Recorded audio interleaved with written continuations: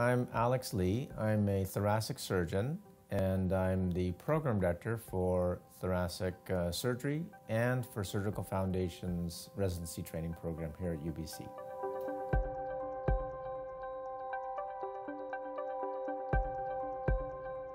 My father is a doctor, and of course, who doesn't want to be like one of their parents? And uh, the more I learned about medicine and surgery training, I realized that undoubtedly this is what I wanted to do. Vancouver Coastal Health is a great place to work because of the great team atmosphere we have here. And that's what led me to come here, and that's why I stay. How are you? Always good. Always That's good. We're really operating at the cutting edge here.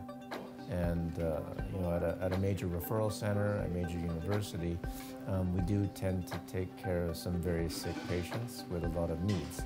And we work together to optimize results. Are you seeing the window? And again, feather it like a, like a finger, right? Everybody that I talk to is really proud to be here. It's not just a job. They're not just your coworkers, they're your friends. And when we have a common purpose and common goals, shared values, I think that's what really makes this place special. You ready?